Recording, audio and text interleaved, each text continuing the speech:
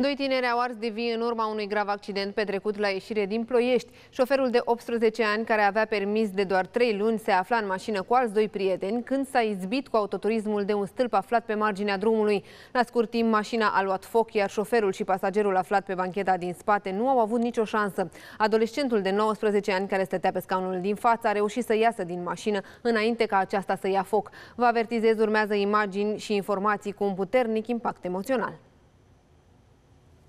Era puțin trecut de ora 1 când a avut loc cumplitul accident. Pe imaginile surprinse de o cameră de supraveghere din zonă se observă cum mașina se lovește frontal de stâlp, iar apoi flăcările încep să iasă de sub capotă, iar autovehiculul începe să ardă în scurt timp ca o torță.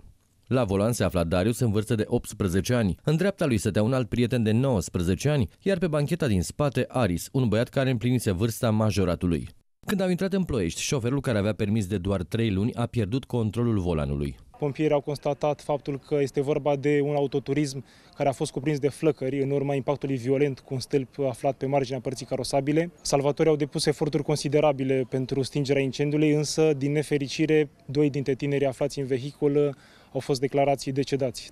Cei care nu au mai putut fi scoși la timp sunt șoferul și pasagerul care stătea pe locul din spate. Martorii de la fața locului au povestit că la momentul la care a izbucnit incendiul, conducătorul auto era conștient, doar că nu a putut fi scos însă pentru că a rămas prins în centură și între fiarele contorsionate.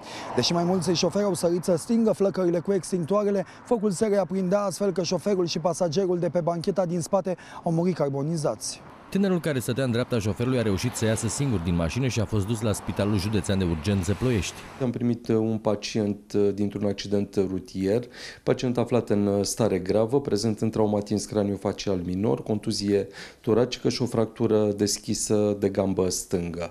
A fost supus unei intervenții chirurgicale, în momentul de față este stabil și se află în secția de terapie intensivă.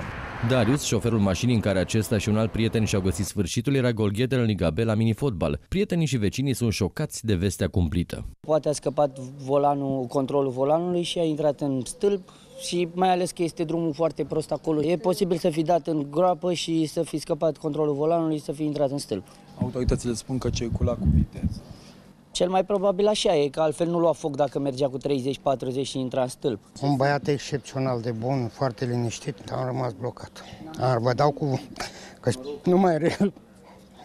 nu mai în review și Ei erau prieteni, colegi. erau foarte, cei mai buni prieteni, foarte și era, vă dau cuvântul meu, doamna, era un băiat de nota 10. Niște băieți așa de cuminți, Vai, groaznic, groaznic. Condolențe familiei și ce să spunem, să copiii ăștia să aibă grijă. Cei trei băieți care se aflau în mașină erau prieteni de multă vreme și locuiau pe aceeași stradă din Ploiești. Familiile celor doi tineri morți se pregătesc acum de înmormântare.